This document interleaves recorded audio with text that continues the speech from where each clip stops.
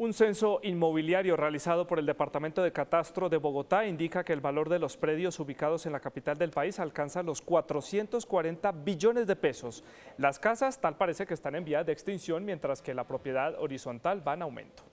El crecimiento predial de Bogotá en los últimos años, según Catastro Distrital, se disparó. Bogotá hoy tiene 2.430.000 predios aproximadamente. El crecimiento versus el año pasado es cercano a los 52 mil predios nuevos incorporados en la ciudad. El censo inmobiliario revela que 6 de cada 10 predios son de propiedad horizontal, lo que indica que cada día son menos las casas que quedan en la ciudad y que dan paso a grandes edificaciones de apartamentos. En las localidades de Suba, en la localidad de Usaquén, y en la localidad de Usme, es donde más predios tenemos. Además, en 2014 el valor de Bogotá se incrementó un 15% comparado con el del año 2013. Bogotá hoy catastralmente tiene un valor cercano a los 441 billones de pesos. En la capital el 53% de los predios son de uso residencial.